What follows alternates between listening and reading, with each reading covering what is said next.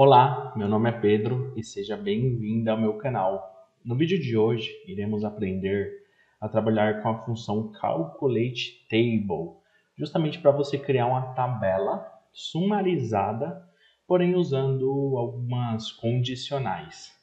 Bom, primeiro de tudo, vamos importar os dados. Eu criei uma base fictícia, tá? E, e vou utilizá-la apenas para fim didático. É, esse daqui equivale ao, ao vídeo 28 do nosso canal. Então você vai conseguir essa base através do link da descrição, que vai dar acesso ao meu OneDrive e lá tem os vídeos segmentados por pasta. Esse daqui é o vídeo 28 e dentro da pasta do vídeo 28 você vai encontrar essa base aqui, ok? Então eu vou importá-la e hoje eu não vou fazer nenhum tratamento ETL nela, apenas selecionar a tabela e mandar carregar do jeito que ela está aqui, ok? Iremos aguardar aqui o carregamento, o término do carregamento. E pronto, carregado. Agora eu vou acessar essa base e vou apenas corrigir aqui a, a data, colocar a data abreviada. Então perceba que aqui nós temos o ID, a quantidade, o valor total, separar por ponto aqui, data início, o vencimento e o estoque. Eu fiz uma condição que se a quantidade for igual ou menor a 10, ele vai me sinalizar como estoque baixo, ok? Então, nós temos 3.086 linhas, sendo que de estoque baixo eu tenho 200, é, 290 é, linhas, ok? Isso daqui é bastante importante a gente decorar isso daqui. 290 é, produtos com código abaixo ou igual a 10 a sua quantidade. Então, Vamos supor que eu preciso criar uma tabela é, informando exatamente é, somente os, os produtos que estão com o estoque baixo, porém eu preciso manter a tabela original. Então, eu não posso simplesmente ir lá no meu Power Query e selecionar o estoque baixo, tirando o estoque normal e assim eu criar uma tabela já filtrada. Isso ocorre né, em alguns projetos de BI, eu já passei por isso. E, então, como nós faremos? Aqui em página inicial, a gente consegue criar uma nova tabela. Essa nova tabela ela vai ser criada baseada numa medida DAX. Olha só. Então, quando eu clico, ela já vem aqui é, e abre para eu inserir uma função DAX nela. Ok? Então, eu irei inserir aqui, eu irei dar o nome da tabela. Ok? É, colocar em maiúsculo estoque.baixo e eu vou usar a seguinte função. Deixa eu dar um zoom aqui, ó. Dar um zoom grande, beleza? É, calculate table, ok? E ele pede dois argumentos. É, a tabela e aqui um filtro.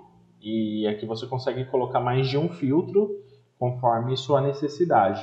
Nesse caso eu irei usar um filtro. A tabela vai ser o base prod, vírgula, e ele pede o filtro. Então, o filtro vai ser na coluna estoque, onde ah, será estoque baixo, ok? Então, onde tiver ah, dentro da tabela ah, base prod na coluna estoque, onde tiver é, estoque baixo, ele vai trazer aqui para mim. Vamos conferir. Dê um enter.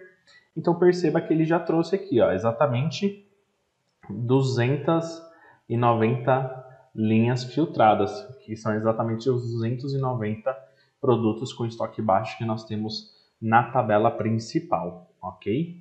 É, aqui eu só vou organizar é, essa data, deixando ela sem, sem hora. Mas aqui a gente consegue ainda é, brincar um pouco mais.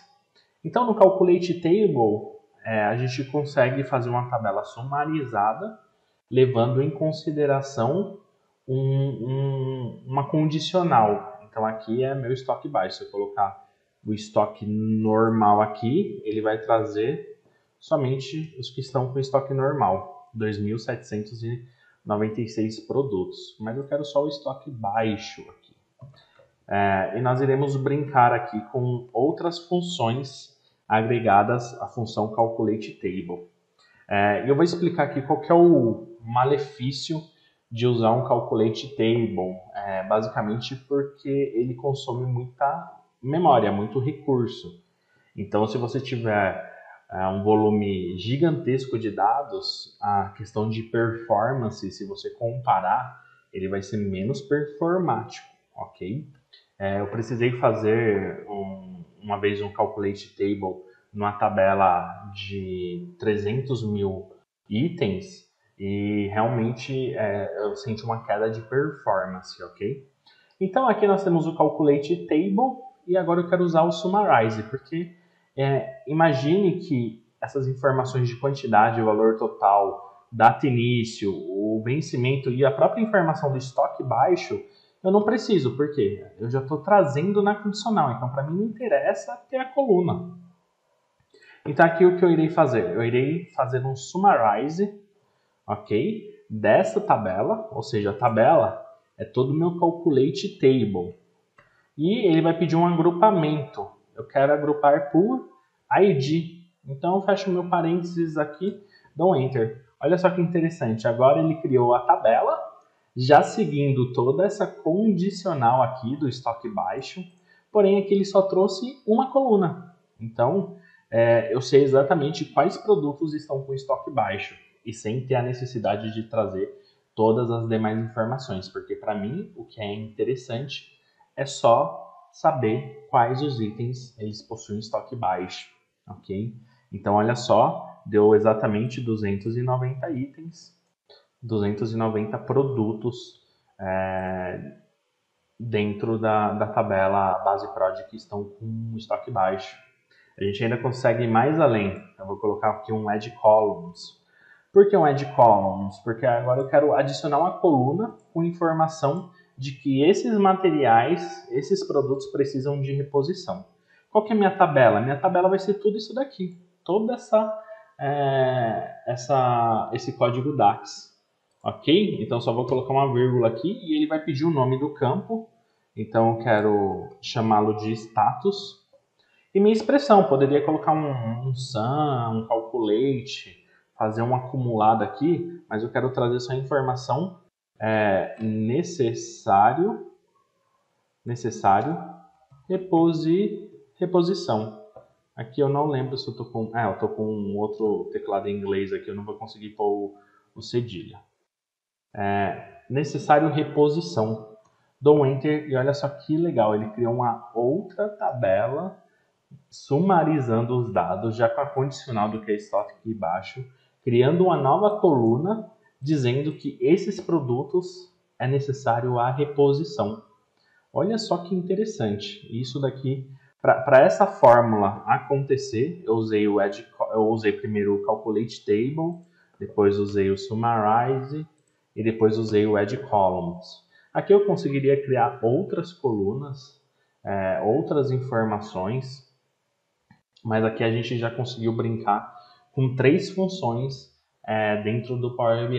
E são, basicamente são três funções que as pessoas geralmente não as utilizam muito, mas é, são funções avançadas e você só tem que ter cuidado com essa questão do, da performance, ok? Aqui, inclusive, eu conseguiria é, fazer aqui um,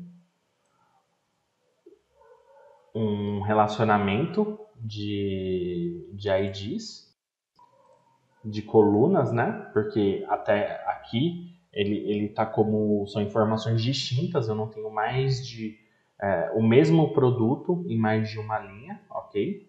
Conseguiria fazer esse relacionamento e agora, inclusive, eu consigo utilizar aqui, fazer alguns, algum, alguns cálculos mais complexos ou até mesmo um, um simples, um simples PROC-V, que a gente costuma chamar PROC-V, mas é, o, o related, né? Então aqui eu vou colocar status igual related é, stock status, ok? Então olha só, eu fiz o related aqui da outra tabela, trazendo para cá.